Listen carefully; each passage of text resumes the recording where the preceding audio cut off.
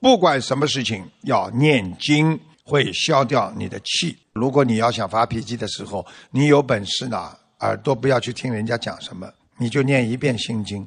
这一遍心经也就三十秒差不多吧。你三十秒念完一部心经再来想这件事情三十秒就可以让你冷静下来。心经嘛就是拨正你心灵的方向的。呀我们不管什么事情啊首先要静下来。